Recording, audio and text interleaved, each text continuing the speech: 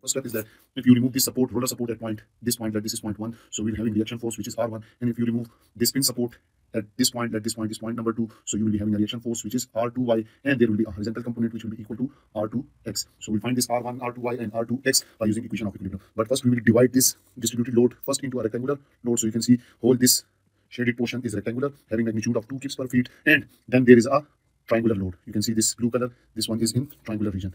Let me draw it again. Okay.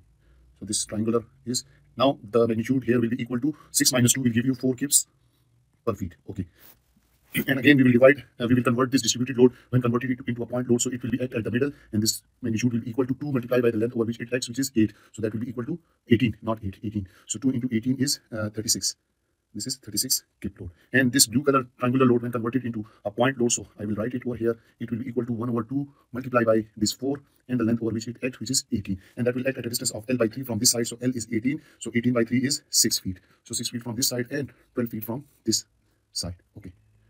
And the distributed load, since it is acting at the net, so it will be at a distance of half of the 18, which is equal to 9 feet. Now we can apply the equation of equilibrium. So first equation of equilibrium is that sum of all forces in the x direction must be equal to 0 and force toward right is taken as positive. So from this, you can see only the horizontal force, which is R2x is acting. There is no other force, so it means that R2x is equal to 0. Now we'll find the second force by using equation of equilibrium that sum of all movement about point 2 is equal to 0 and taking the counterclockwise movement as positive. So about this point 2, first movement will be this R1 into perpendicular distance is 18 and this is producing clockwise movement, so it will be negative. So I can write it as minus R1 times 18. The second force that is producing movement is this 2 into 18 and perpendicular distance will be this one, which will be equal to 9 feet. And this is producing counterclockwise movement so it will be positive. So i can write plus 2 multiplied by 18 into 9 the last force that is producing movement about point 2 is this force multiplied by perpendicular distance is 6 and this is also producing counterclockwise so it will be positive. So i can write plus 1 over 2 4 multiplied by 18 into perpendicular distance 6 is equal to 0 now we will get minus 18 r1 plus 2 multiplied by 18 multiplied by 9 is 324 so 324 plus 4 into 18 multiplied by 6 4 into